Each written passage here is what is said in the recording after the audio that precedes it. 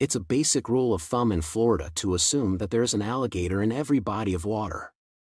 I know it's always tempting to jump into the water especially on a hot day, but you should always test the water out before jumping in. Especially in waters that is not clear because chances are, there might be an alligator in them. Alligators have excellent natural camouflage that helps them blend into their surroundings. Chances are, they will know you're there before you know they're there.